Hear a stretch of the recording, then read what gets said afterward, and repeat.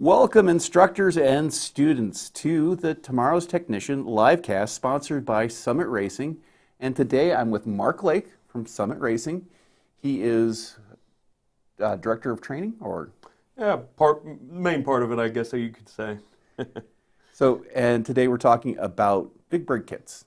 What do they do? What's the advantages of them?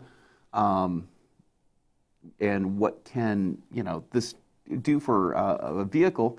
And we're also kind of discuss some of the physics behind um, braking.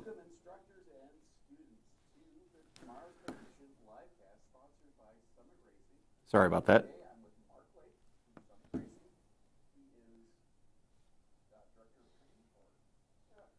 Um, we might need the volume turned off on the, the TV in the studio. It's creating a little bit of a, a, a back feed.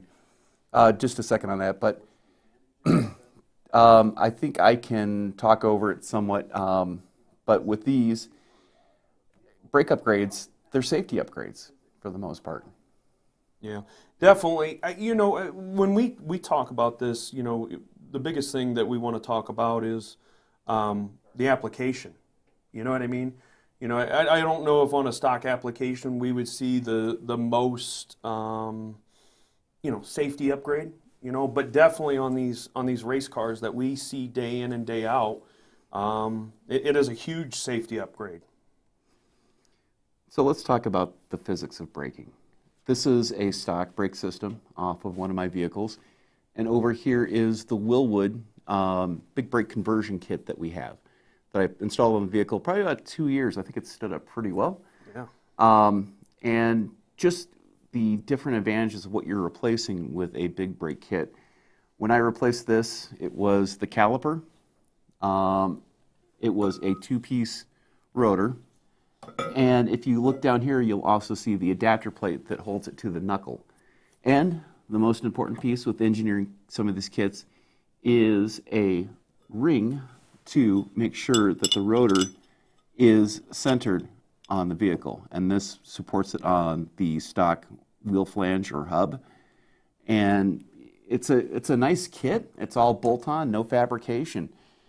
But the comparison to the stock brake, it's a little bit day and night. I mean, I'm not getting mm-hmm. that much of a stopping distance increase, sure. decrease, but just the overall robustness or the longevity of the brakes going around a track a couple times, it's it's pretty remarkable. Oh yeah, without a doubt. You know, you you talk about um, the biggest thing, especially in, in road race, autocross, whatever. You talk a lot about uh, brake fade. You know, when you go to these these factory, you know, uh, rotors and pads and caliper, you know, the first five six times, not really going to notice too much of a difference. You you might feel a little bit stiffer pedal uh, a little bit less flex. Um, but it's, it's when you start taking those multiple, multiple, multiple uh, corners. That's when you don't notice that brake pedal, when you have to jam on it as hard as you can, it's not going to fade or give away. Um, that, that, that's, that's the main thing. So, you know, again, you just, you just got to kind of qualify what are you doing. And also with this kit, it was kind of amazing just the number of different friction options that I had. So I was able to change out the brake pad um, for a track day that I had to a more aggressive compound. And trust me, I wouldn't want to use that on the roads because it's really easy to uh, lock up or they also require a little bit more heat in them to work properly. Yeah, I mean, it, it, it's almost funny to say, but who would ever think that you'd have to heat up your brakes to make them work? I mean, it's kind of backwards thinking. You know, you, you don't want to jump in this this this you know this application and say, "Gosh, I got to start my car up and stop it 10, 15 times to to get the brake pads heated up." So you know, like you're saying, they offer all these different uh, brake pad options, and you know, again, you have to qualify. What are you doing? You know, what type of stopping are you doing? You know, you don't want to jump in the car jump on the track real quick and start racing and your brake pad's not, you know, be warmed up. You know, they, they operate at, at different temperatures. So, you know, it, it also makes it nice, you know, with some of these Wilwood ones, some of these other manufacturers, that it makes it so simple to swap out the pads. That's the other kicker. You know, I mean, you start doing multiple brake jobs, You're, you're, you know, that's that's time. So let's say you do it have you do have it on your daily driver, but then on the weekends you like to really go hard at the track. Well, now you can swap out those pads pretty quickly. And just the options, I think that's a BP10 compound from Wilwood. I the other pad, I think it was a BP30 compound. And I also have the Polymatrix um, friction materials, and it's definitely um, a change. And more than anything, it helps in the modulation of the brake pedal. Sure. That's the one thing I can get close to lockup and close to maximum braking potential for the vehicle. But you know, that's just one of those things that you never thought that you know would be possible with that. Um, you just think shorter stopping distances, but it's actually better braking into a corner. Yeah. Trail braking into the corner. I mean, there's the options are just endless. In, in, in, in, in, in itself, it almost makes it like the car handles better too. You know, and who would ever think that, you know, I'm going to change my brakes, I'm going to get better handling. You, you know what I'm saying? Like, you're thinking, when you think handling, you're thinking, you know, something suspension wise. You're thinking, oh man, if I do this coil over, if I do this control arm, I do this whatever, I'm going to get better handling. Mm, Well, now, it, when you do these brakes, you're getting better handling as well. Uh, just a reminder, please uh, post your questions on YouTube or Facebook, um, and we'll get to those questions. Um, I'll be watching him right here on my phone. But you brought up the handling aspect of it, and it's also acceleration. I think the, the greatest comparison you could probably do if we compared the weight of the components from the Wilwood kit versus the stock brakes. So we've got our scale here. It's actually a postal scale. So we'll be able to, this is from my eBay business. Um, let's weigh these and, and, and see the difference between the two uh, systems. So with this, let's see if you can see that on screen. 26 pounds and 7 ounces. And that's the full caliper and also the, uh, the uh, cast rotor itself. Um, this one, I actually think it's from StopTech, same with the pads. But let's measure the big brake kit and see what we got.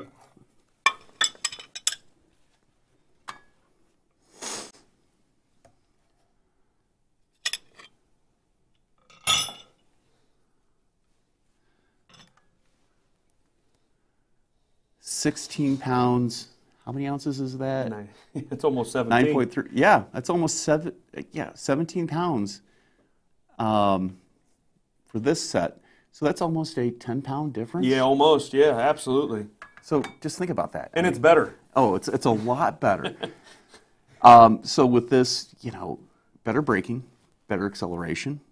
Um, you're also going to improve handling, and you know, you brought the handling point. Um, physics-wise, I mean, it's like putting a stiffer set of springs on the car. Yeah. Because that's unsprung weight, Right. and uh, you know, you're also allowing the shocks and struts to work a little bit better because they're they're 10 pounds lighter. Right. And it's crazy. It's bigger. You know, you, you start to think, okay, now I have, I'm putting bigger parts for stopping, and it's got better handling, and, and it's going to weigh less. You know, you start, it, it, you know, it's almost like it's an infomercial and it's too good to be true. Yeah, especially you know, think about it. If I'm, on my car where I have these on there, I've got them also in the rear. I mean, 40 pounds off of a vehicle. I mean, Yeah. that's at least a tenth of a second of better acceleration and also handling too. Yeah. And, and, and, you know, usually you're paying buku money to get that little bit, and you're putting a lot more work in, and you're not going to get that full circle of it's going to be faster, it's going to handle, and it's going to stop better. A lot of times when you improve to, to go faster, um, to get quicker down the track, whatever, you know, you're just improving one thing, be, you know, via engine. You know, you're not, you know, but then when you improve the engine, you know, it's kind of like a teeter totter effect where you're saying, okay, I'm improving my engine, but now because I've improved my engine, now I'm talking about, okay, my car might not handle as well. My car might not stop as well. You know, you put that, you know, you talk about big camshafts. Big camshafts can affect braking. Yep. And you know, so it's it's like you know, oh great, I got this fantastic engine. You know, it's putting out more horsepower, but I'm not getting the same thing with brakes. So it, it, it's kind of a neat combo, and it's it's a different way of thinking. That's for sure. I mean, you look at some of the top fuel dragsters out there.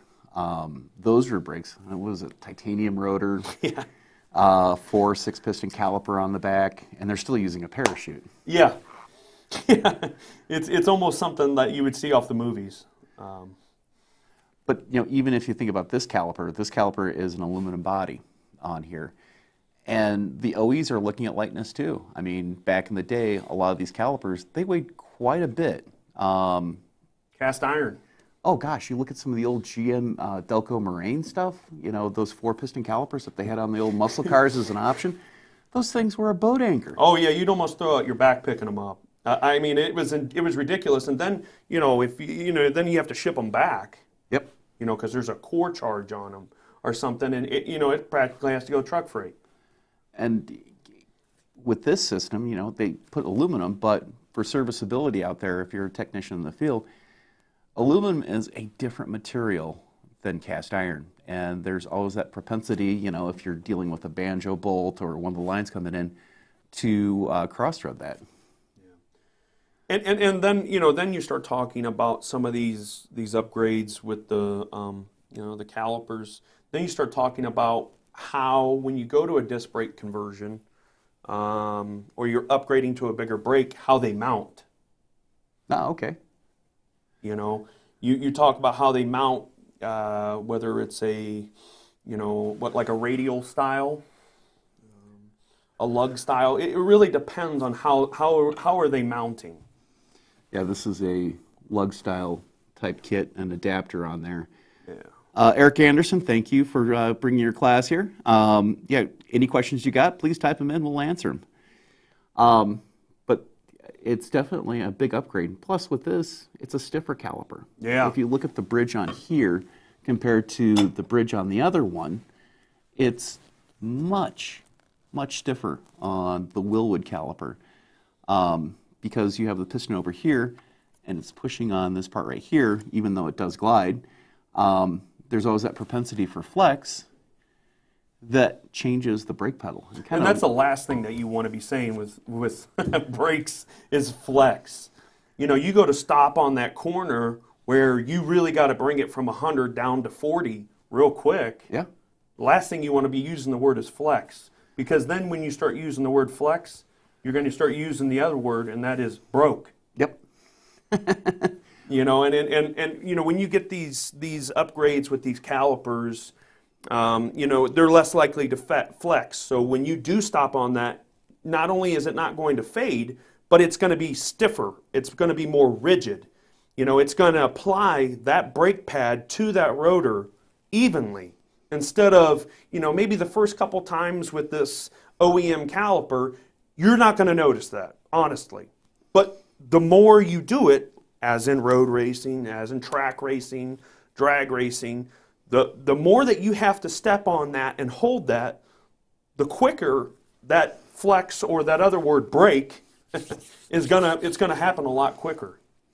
quick question came in, more of a comment here. Um, are drum brakes better than disc brakes in terms of stopping power? You want to tackle that? I'll tackle that one. Um, in all honesty, y- yes. It's the question of the surface area between the drum and the shoes themselves and how the shoes self energize. Yes, they can produce more braking force depending on the friction material. But the big limiting thing with drums is their ability to dissipate heat. And it was always a question for the OEs. If you go back in time, you start looking at Pontiac, um, even Chrysler did this. They had a, a cast aluminum drum, and then they poured in a liner of cast iron for the braking surface, just to reduce that mass. And you know, aluminum is better at rejecting heat than cast iron. So in some ways, yes. Some ways, no. Um, disc brakes are better at modulating the force and controlling it. This is why just about every single ABS vehicle has disc brakes. Yeah, let me add to that. Um, so the the the way that I look at it might be different than a, a factory option. You know, we run into people. Um, let's say they have drum brakes and they go off roading, Okay, uh, as in uh, they take it and they uh, go four by four and maybe in a Jeep, maybe some off-road rig, and it has factory axles on it, and they haven't done a disc brake conversion. Okay, so now uh, one of the uh, I guess weaknesses you could say to a drum brake is is water and mud. you know, you you get water and mud into a drum brake application, you've pretty much no longer going to stop as well, even remotely. You know, I've I've I've had a couple off-road uh, vehicles myself. Um, where you know you, you, you take it off road and it, it, it once you let's say it's rained the day before whatever it's horrible and that was even the case, you know, back in the, the 50s and 60s, you know, and even before that, where vehicles had drum brakes all the way around. Where today, you know, you're lucky to even see it on the rear, you know, um, where, you know, people would get stuck in the rain and that water would get trapped inside that drum. And you'd push it to the floor thinking you were going to stop, and you're not stopping anymore. Uh, so there's there's ways to look at it. Um, so again, it, it's the qualification of what are you using this for, and like I said, you know, stock applications. Yeah, you, I mean, on the rear, you, you probably aren't going to go, oh my gosh, oh what a what huge upgrade, you know. But when you're using it for off-roading, you're using it for racing, any form of racing. Yeah, it's a it's a huge upgrade. Got another comment back here from the audience. Uh, thank you, Jeff, for putting this question. Well, what about water and disc brakes? Yeah, uh, I mean it's it's still a it's still a, a you know a huge no-no, right? But it's not as bad in, in a drum. You know, with a with an actual rotor, a, a lot of rotors are are two piece. You know, they're a two piece design, and they're able to fling that water as it's rotating off. Um, you know, so the water isn't getting trapped inside that drum. You know, when you you guys obviously know the difference between disc and, and drum. Well, as soon as you put that drum on, it's like putting a cap on it. And yes, water could leak out of it, and, and yes, it's not a sealed unit, but it's a heck of a lot more sealed unit than a, than a disc brake. So, you know, water and braking never will never be a perfect mixture, um, but it's a lot better with a, with a rotor it's funny uh, looking at um, Dodge. They're kind of concerned with it because that's a pretty good sized rotor on, on the Charger and also the Challenger.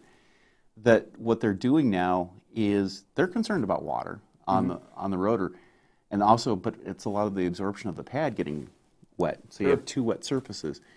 What they're doing is is it detects if the wipers are on, and then it may do this little routine to bring the pads in contact with the rotor just to get rid of some of the water on the, the, the rotor itself. Kind of a, a, neat system that you, you, know, you got to be aware of. But this is even from um, Dodge, where actually post corner, you, if you get like the fancy uh, Brembo brake kit on that, it does this little routine after a corner. It actually pulses the brakes to get the pistons in proper alignment with the uh, the rotor itself because they figured out that okay, there's flex in the flange, and if you go around a corner, it could pop back the pad. So the next stop, you're like, a few extra stops. So that's actually that's it, impressive. It, it's it's amazing what how far technology has gone, and you know, as a student, you're going to see a lot more of this really interesting stuff, especially with even hybrid vehicles, yeah. um, pedal simulators, and everything else. And you know, a lot of the physics that you learn about brakes will apply to EVs, even. I mean, Let's talk about EVs. I mean, that's oh we'll, we'll, we'll, limit it to this thing. Um, there is actually a kit out there, a big brake kit for Tesla with carbon ceramic rotors. and it's not about it's a little bit about performance, but it's more about the range of the vehicle. Yeah. So let's go back in time here a little bit. Okay. You've got you're you're at Summit and you probably get tons of calls mm-hmm. from customers with their project vehicles, and they're looking to upgrade their brakes. You know, they upgraded the engine, as you said before, with an LS or something. What are some of the roadblocks dealing with some of these oddball applications and uh, putting bigger brakes on them? Uh, you know, uh, knowing what you have is, is the, and it, you wouldn't think that would be such an issue. Um, but there's so many times people get this project car that has that has been modified, you know, and and the guy ran out of money, or you know the age old saying, uh, he's having a baby, buying a house, or whatever, and uh, he's he's he's run out of money, so now he sells it to this guy, and this guy, you know, well, I know it's a '69 Chevelle, I, I know it has an LS in it, and uh, he told me it was factory brakes. Then we send them a disc brake conversion, and nothing's working. you, you know, and it, it's uh, it's one of these issues where you know there there's so many if and if this then that, if not then this, and so now we have to we kind of have to say okay, you have to be so intimate with that that vehicle, you got to know you know anything from staggered shocks. Why would I need to know if I have staggered shocks? Well, that depends on where they mount the actual caliper. Okay. Well, was it a factory disc brake car or was it a full all wheel drum? I don't know. I bought it and had disc brakes on it. Well, the, the only reason we ask that is, is it, it, you know, if it had drums, it probably had a different uh, spindle on it. Okay, well, how am I supposed to know that? You know, so we, we run into these issues where it's like, okay, there's that, and then, then you talk about master cylinder, you know, where it's a single bowl master cylinder, and now it's not going to put out enough pressure or volume for the actual vehicle to stop if they go to a disc brake conversion or the proportioning valve's wrong. So there's, it's like, man, you really got to know what you have, or you know, you get that kit that changes everything, where you know, but you are going to pay buku money to do this. But if this is your, you know, hey, this is my love, this is my favorite car, it's really, at the end of the day, it's not not as bad. But it, it those are some of those are just some of the roadblocks. You know, I used I used this example the other day where guys like, hey, I bought this uh, I bought this '67 Chevelle. I want this this brake conversion. We send it to them. You know, a typical 67 Chevelle had a 10 bolt rear end in it. Okay? So we sent it to him front and rear. He got the master cylinder, the brake booster, proportioning valve. He even got new spindles. Hmm. You can get it with drop spindles so he can lower the car as well. Now, he calls up and says, Hey, everything on the front bolt great. The rear, not even close. We're like, Man, what, what type of rear end do you have in that vehicle? Oh, well, the guy bought a Currie Ford 9 inch. And you're like, oh, well, that would have been nice to know. but then let's add a little bit more to that. Uh, a Ford 9 inch, they have different housing ends on the axle housing. So not only did we need to know, oh, yeah, it's a Ford 9 inch, but oh, yeah, it also has one of these three housing ends on that Ford 9 inch. And oh, yeah, on top of those three flanges, there's different offsets to it as well. So, you know, when you get this, it's like opening Pandora's box. It's not, it's not impossible, and I don't want to make it sound like that, but sometimes you got to get a little bit more familiar with that application. We just had a comment here. Um, what about changing the pivot point of the brake pedal depending on the brake kit? That's smart. Yeah. That's real smart. Um, yeah, pedal ratio is, is, is such an important thing because let me just keep using this example, okay? Got the 69 Chevelle, you got everything that bolts up. Now you're like, man, I just spent $3,000, $4,000. I should stop on a dime. You know, I mean, I, I, I would. If I spent that much money, I'd want to stop and I'd want to stop now. Now you stop and the, it doesn't, doesn't have the right pedal, you know, and you're like, oh, is something wrong here? Do, do I have air in the line? Is there, well, pedal ratio is, it comes big into play, and it also comes into play whether you have manual brakes or power brakes. You know, the, the, the power brakes, you don't, you don't need as high of a, of a pedal ratio. Uh, but in a manual brakes, you know, you typically want the, the 5 to 7 to 1 ratio, where your power brakes, you want like a 4 to 5. So why I say that's so smart is is because you have to measure it in, in two different spots. Yep. Um, you have to measure where the, the pivot point to the, bo- the center of the actual uh, uh, brake pedal. That's one measurement. And then from where it hits in the center of the master cylinder to that pivot point. You take those two measurements, and, and, and by no means, I, I know we get in the, in the habit of using calipers, right? We're Yeah. like, everybody, you know, I use the joke, you know, every mechanic owns about 50 calipers, right? Um, this isn't where you have to use those calipers. You, you, a tape measure and a stick would probably do it for you. If you had a right angle, uh, uh, you know, you, you ultimately could measure it. And, and, and by doing that, you take those two numbers and you divide them together. And, you know, that that's usually tells you where you're at. Now, let's say you do get that measurement and you're at the, you know, you divide them together and it's like two and a half Yeah. that's not going to be accurate in itself. So yeah, I, we have had people have to remove the brake pedal, drill into that brake pedal, and have to change that pivot point. So yeah, that was that's a fantastic question. It's like one of the last things you would think of. Yeah. You would you, you know you, you you wouldn't think that oh I just spent all this money I've changed everything at the wheel I've changed everything at the wheel and now I have to crawl underneath my car and and and drill a hole in the pedal? Question just came through here on the same topic. When switching over to uh, drum brakes to disc brakes, is there anything that needs to be done hydraulically after the master cylinder?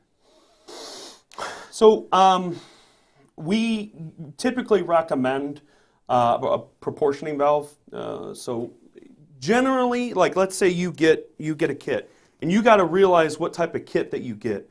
Um, you know, Wilwood, their kits are fantastic. I, I love their kits. They're, the quality is is second to none. The only thing that you got to make sure that you're watching is that Wilwood sells kits that's everything at the wheel. You got to remember, the stopping isn't just done at the wheel. It's also done at the actual master cylinder, the brake booster if it has one, and the proportioning valve. So, yeah, you just put this $3,000 brake kit on there, but what else have you, you know, what else are we going to change here? So, we generally recommend, uh, you know, either an adjustable one, we sell those, or they sell them that, you know, if you you have uh, 67 Camaro with four-wheel disc brakes, you can get a proportioning valve that's proportioned properly for a four-disc brake setup, and that's like a fixed proportioning valve. That's those those gold anodized uh, proportioning valves that you can get that are a fixed proportion.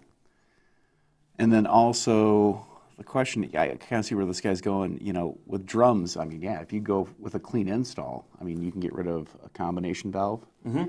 Um, the one I run into on a lot of vehicles is the um, the sudden leak valve. I'm trying to remember the name of it. that basically it detects, you know, if a sudden loss of fluid for Yeah. one side or the other. Yeah, I, so it really, um, you know, and here's the other thing is residual valves. Yes. That's another thing that um, it just depends on where that master cylinder is mounted. You know, i- i- if your master cylinder, you know, and you don't think, you know, in today's cars, you're used to popping a hood and right there's the master cylinder and your brakes are down here. Well, what if I were to tell you in 30s, 40s, 50s, even some 60s, the master cylinder was before or below the floor pan? So now is that master cylinder, you know, above the actual caliper, above that actual uh, wheel cylinder? If not, you're probably going to have to consider something with a residual valve. Yep. Because that's uh, uh, well, also with brakes because you're fighting that initial resistance on drum brakes with the springs Oh, absolutely. that you don't have with a um, a, a brake caliper. Uh, question here, as far as with the kit, um, should I be worried about along the same lines the sizing of my master cylinder? Should I go bigger or smaller, or does it depend on the piston area of the caliper? Great question. Uh, so, it, number one, it depends on kit. If you buy a kit, um, uh, I'll use a company called Right Stuff Detailing. They're they're located out of Cleveland here. Um, they make kits that uh, you generally can get the whole shooting match. Yeah, you get everything at the wheel, but you also get you know, or you can get, I should say, uh, the the actual booster master cylinder proportioning valve. In that case, the answer would be no. In the case of you get a kit, maybe a Wilwood kit. Remember, we're only changing at the wheel with the majority of Wilwood kits. You know, and I'm talking, and I guess, you know, you and I were, were talking about this earlier. Um, you need to kind of justify this. He, he brought up a really good point where he said, okay, late model cars, they sell these big brake kits or maybe these disc brake conversions. And yes, they are set up to be used with a stock master cylinder. No, no, no issues there.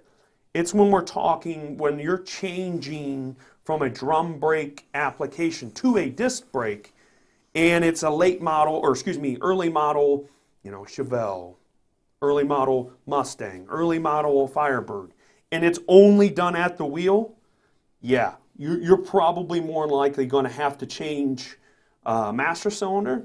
Uh, and uh, somebody also asked pedal ratio. you you better look at that. And it's in, and it's not like you there's some mystical science or mystical measurement or anything with that. Yeah. It, it, it literally is just uncomfortable, especially if you're a big guy, to get underneath the car and, and, and or get underneath the dash and measure that real quick. And, and that way, if you know you're within that ratio, then you don't have to be taking a, a brake pedal out and, and drilling holes in it and everything. So You're right about knowing with what you have. There's a lot of older muscle cars out there where there were so many different brake packages in terms of, you know, well, let's take for instance American Motors. So you had the AMC 220, um, the 440, and each one of those either it had disc brakes or it had drums. So, and then on top of that, the sizing of the drum for certain packages and certain power packages. And then on top of that, you also had just small changes that could really wreak havoc with some of the, if you're putting bigger brakes on it. Oh yeah, without a doubt. I mean, you know, you know that we run into uh, like a common car um, we deal with is is the uh, 67 to 69 Camaros.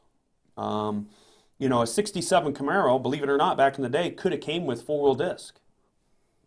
Yeah. That I mean, and and that's perfect for somebody that's doing some type of some type of racing. But if you had a different model, it could have come with four wheel drums. So yeah, to to kind of just add to what you're saying, you better know what you have.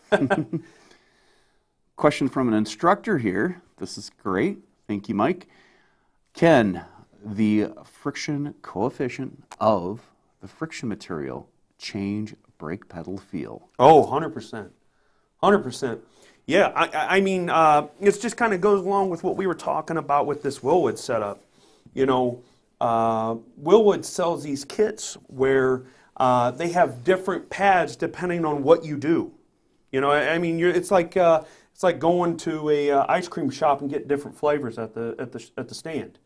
You can get one flavor where it's like, hey, this is more you, meant for street use, you know, uh, and it might have a lower, you know, coefficient. Where you have, you go to the other side of the stand and you're like, hey, you know, this is only a track car, and you know, I'm gonna get a higher coefficient. Well, now when you do that, that can change where you know you go to stop real hard on initial stop, and that pedal you're kind of like, ooh, I don't like that. I, you know, you're thinking I got this high dollar brake setup, and it's not stopping the way it should. Where you know we we, we use that uh, that term where we're like uh, you have to warm up the brakes. You know, you change the coefficient of that that brake uh, brake pad. Without a doubt, you're having to change. Uh, you, you know, you're changing that pad, but you're also going to have to warm it up. So that definitely would change the feel of it. And speaking as the stock guy, um, this really plays into replacement brake pads. If you're out there in the field and you run into an application that the pedal changed because you changed the, the friction material. And if the friction material, the coefficient of friction isn't high enough, it can cause a brake pedal that may seem lower mm-hmm. or they might have to feel that they're applying more pressure to it. And that is a, a critical argument for using high quality brake pads because chances are, if it's a real cheap line that's low quality, um, and you pick it up online, and what's happening is, is you have a brake pad manufacturer that may have only four or five different compounds for an entire line that's designed to cover 90% of the vehicles out there. So it may be good on a Ford Focus, but then once you move that same material onto, let's say, a, a Silverado 1500, Sure. that material may be at its limits. Um, so, a reputable manufacturer of brake pads, um, you know, they may use up to 23, 24 different friction materials in a line just to suit the OE thing, OE uh, feel of the brake pad, the coefficient of friction, and also the type of friction that may happen. I mean, you may have like a ceramic type style pad. I think this is what the StopTech is actually. Um, but those are designed to work with the OE rotors, the OE system, and once you start playing with that coefficient of friction, that's when you run into a lot of problems. Oh, without a doubt. You know, you, you talk about that, but then you know, let's let's talk about maybe why a customer would bring it back.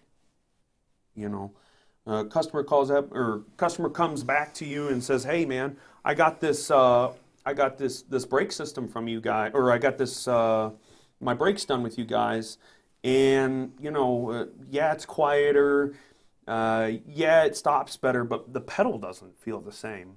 You know, that that's to a point where you might have to come out as a tech or you know a service writer or something, and you might have to go over that with a customer, and it, that might become a, a difficult conversation with somebody. Oh, by the way, sorry, we used a cheaper pad on you. It's all about the engineering too. Yeah. uh, the thing I see a, a lot of things happen too with that coefficient of friction is the type of friction. Um, you may have adherent friction, which is sort of like your NAOs, and then also the ceramic things that actually throw down a layer of uh, transfer layer onto the rotor surface that works with the pad.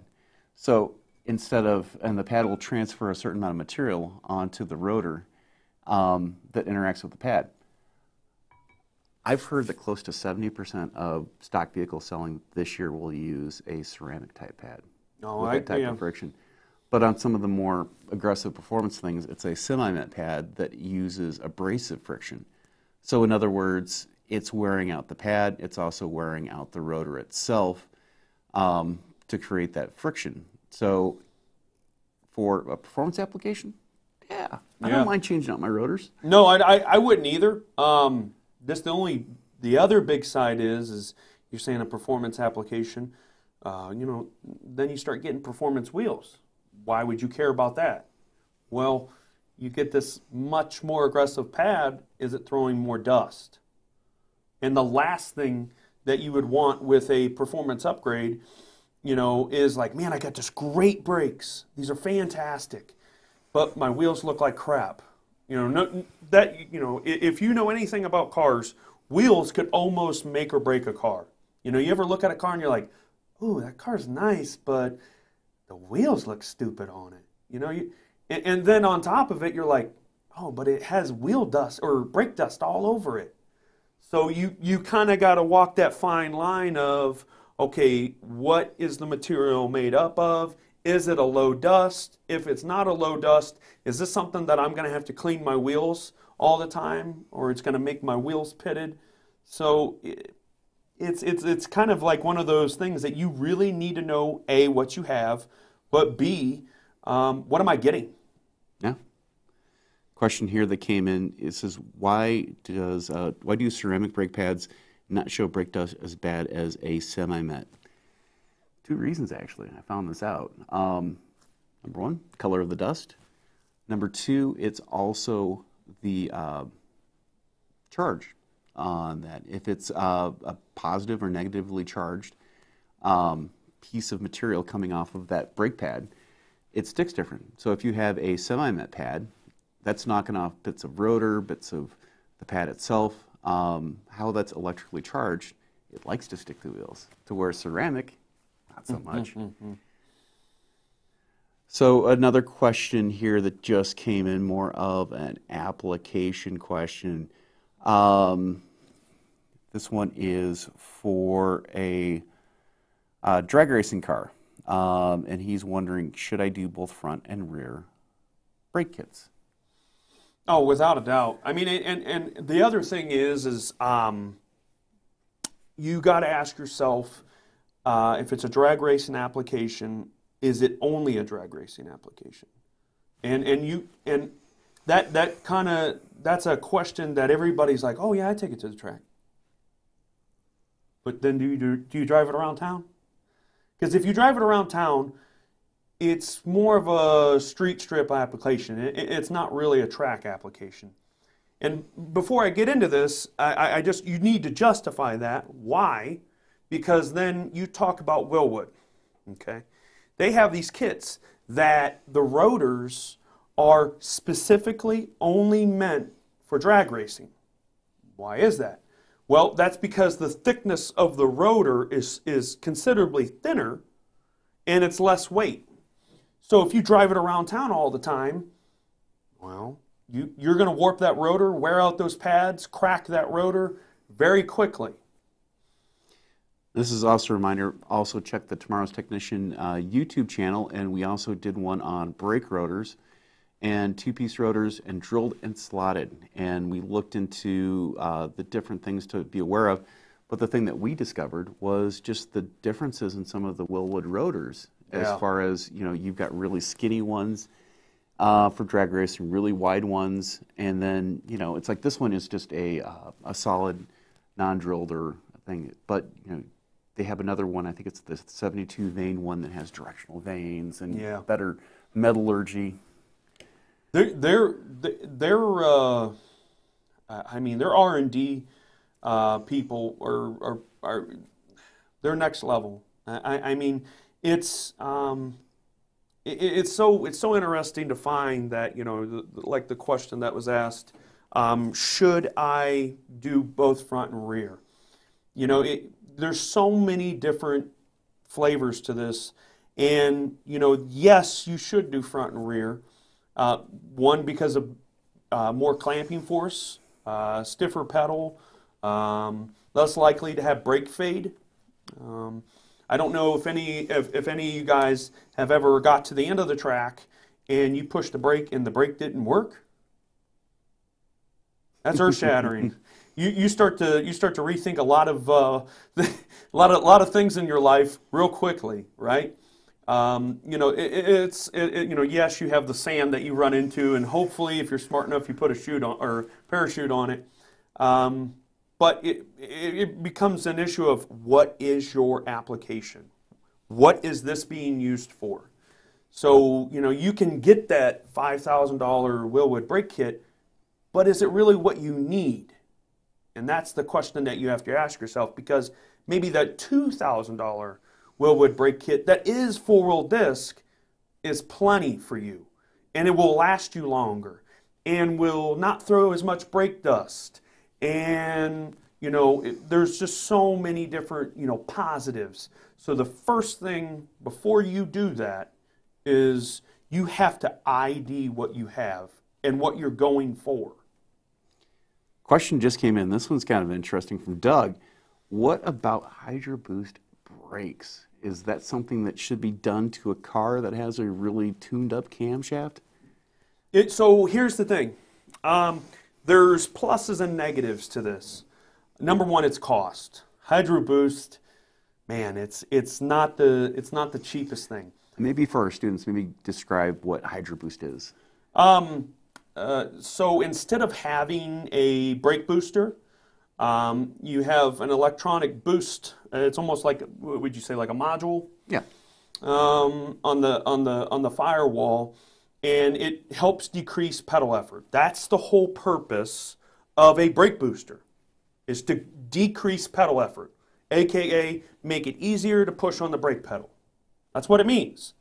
So when you go to a hydro boost system, you're thinking that I have this, you know, uh, big camshaft, big duration, big duration, low lobe separation engines. Um, like, uh, you know, you're going to throw Hydro Boost. I'm going to throw out some names of camshafts. Have you ever heard of a, a Mother Thumper, Big Mother Thumper, Rattler cam, uh, bootlegger cam. You know, those are all different manufacturers of cams. What are they meant for? A very lopey idle? Negative. Uh, the big negative is they are very uh, low uh, engine vacuum. When you don't have a lot of engine vacuum, you can't feed that brake booster. You can usually flirt with the number 15 to 16 on a, on a brake booster, inches of vacuum or inches of mercury. But once you get into these mother thumper, these big mother thumpers, um, engine vacuum is next to none. Now, you're like, well, pff, easy fix, Hydro Boost. Hydro Boost is not cheap. I mean, you're probably in the thousand to two thousand dollar range. Is there another option? Yes, there is another option. Um, it's only the only bad thing about it is it's a little bit annoying. Uh, if you've ever walked past like a, I don't know, 98 to 2000 Chevy. And you start it up and it has that buzzing noise, that mm, buzzing noise that you hear, that's the fuel pump. Why am I talking about this? Well, the next option is a vacuum pump, or a vacuum and and or a vacuum canister. So you can go to a vacuum pump. It will help supply enough vacuum for you to run a brake booster. Downside, it's about 250 to 350 on the price, and it's noisy. There, I, I've yet to find a quiet electric vacuum pump. You people put them in boxes. People try to. They try every little trick in the book. I mean, you might as well just put earplugs in. I, I mean, and here's the other thing. You know, if you have a loud enough exhaust system, generally you don't hear it that much. Um, but that, that that's another option. So to answer your question, do you have to? The answer is no. You got to know a how much engine vacuum are you building. You know, like my, my father-in-law, he has a 72 K10. All right, great big camshaft in it. Um, loves, you know, loves the big camshaft, loves the sound of the exhaust system, you know. But he only builds about 13 to 14. Um, and, you know, around town, that's rough. Yeah. You know, if you're driving on the freeway, it's generally not that bad. So he flirts with the uh, vacuum canister. Okay. So he hold he he routed. I mean, it's top of the line. He routed some uh, polished stainless steel lines to a vacuum canister and routed it to the the brake booster. Um, so that's an option. If you're on that borderline of that 15 to 16, that's an option for you. If you don't want to spend that thousand to two thousand dollar range, you can go to a uh, vacuum pump, electric vacuum pump, and it runs the whole time. Yes, they have a switch on them, and yes, they do turn on and off. Um, but that's an option, much cheaper option, and it's a lot easier to install. But if you do go to a hydro, um, uh, you know, style braking system for the brake booster, that is an option, and then you don't have to worry about um, noise. Number one, and uh, number two, uh, engine vacuum anymore. So. Eric Anderson brought up a good point here. He says uh, with the uh, booster you or Hydro Boost, uh, if you lose your belt, that you still have. With a regular booster, you still have brakes. If you Yeah, if you lose your belt on a Hydro Boost, you've lost your power steering. You've lost your brakes. Yeah, yeah, and that's uh, that's that's pretty earth shattering. Uh, I mean, I've had it. I have uh, Hydro Boost on uh, my factory one ton, okay, and uh, I was, you know, I was trying to explain trying to explain to my wife. I was like, look, I said, if you start to notice any, you know, any any differences in this steering, uh, you know, you need to be careful because there's a possibility you don't have brakes. And that's that that is a fantastic point because you could eat. You know, that's a that's a whole nother ball game. So, you know, what's what are you doing here? You know, you got to you're going to give something up to get what you want, and, and what are you willing to give up?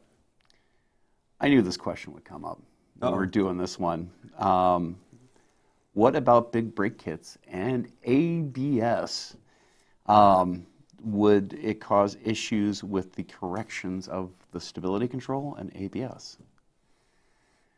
You were talking about this earlier. Go ahead. Um, yeah, I've worked with brake and front end for over 20, 20 years, magazine all about replacement brake pads, and I've had a chance to talk to a few brake engineers on this in regards to big brake kits.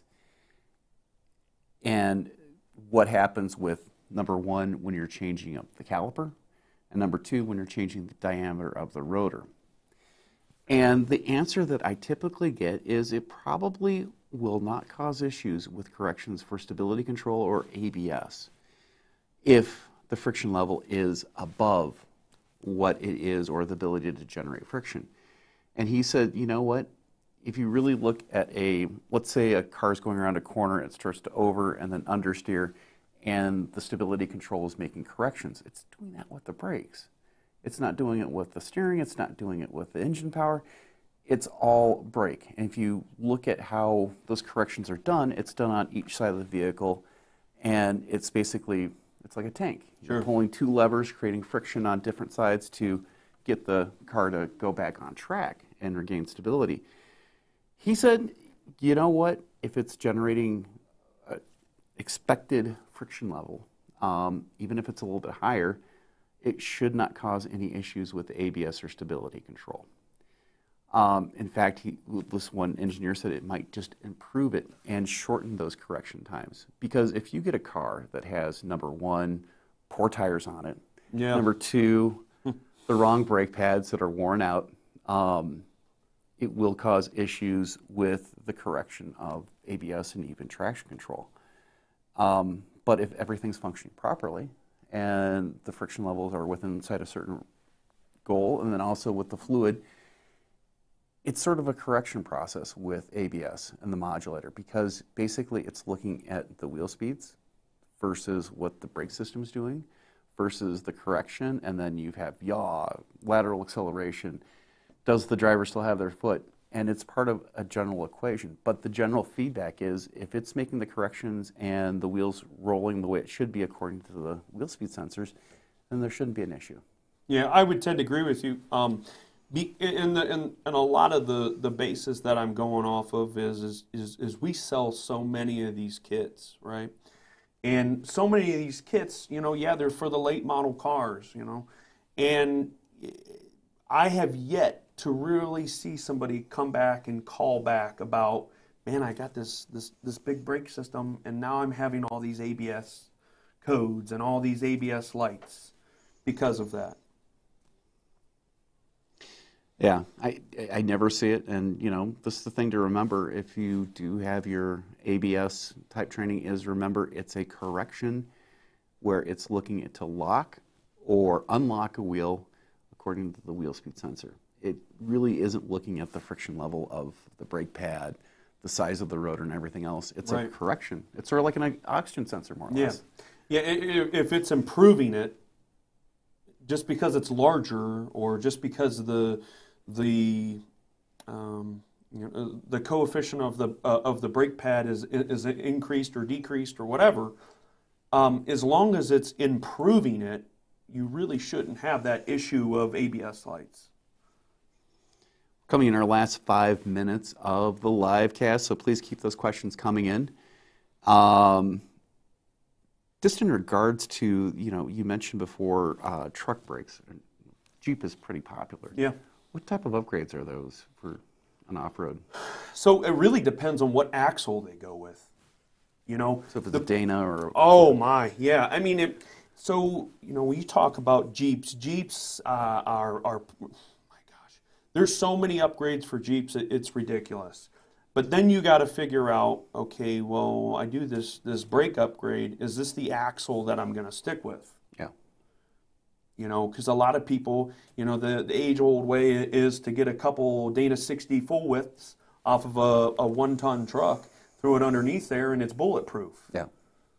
Well, probably the the around the you know depending on what you're doing and again how much horsepower and everything, but a, a set of eight lug rotors are, are plenty enough for uh, uh, a, a factory Jeep. Um, question here: What about brake fluid? Oh yeah, Yeah, we notice. Um, again, what are you doing? So, the the they have different t- uh, different temperature ratings on these brake fluid, uh, and and it's uh, the resistance of boiling, and uh, you know you sit back and think, man, my my brake fluid could boil. You know, at at the track, that's not unheard of. That is not unheard of, especially again the autocross, the road race, um, people like that. They would humongously, uh, you know, benefit from the fact that you know they they upgrade to a different uh, brake fluid. Wilwood, again, another great company to go with. They have different uh, temperature ratings on their actual, uh, you know, brake fluid. So, you know, I don't know if again the factory application. I don't know if that's the huge thing, uh, but definitely, definitely with race cars. And also, if you're a technician out there, um, pay attention to the cap of the brake system because you're going to start to see newer applications made after 2018 to maybe 2019, and you'll start to see this DOT 4 LV, low viscosity, that's designed to work with the stability control system and the ABS HCU and the valves that it can open really quickly. And, and it's designed to reduce foaming and also some of the corrections that um, these systems can pull off. And you'll also see, if you're in the European world, DOT 4 plus on some of the caps, but you'll see more in the specifications a DOT 4 LV. Um, you're also going to see uh, DOT 5.1, which is supposedly, you know, a higher temperature, also des- designed to work with uh, ABS systems, or uh, also 5.1. I think it's ESP.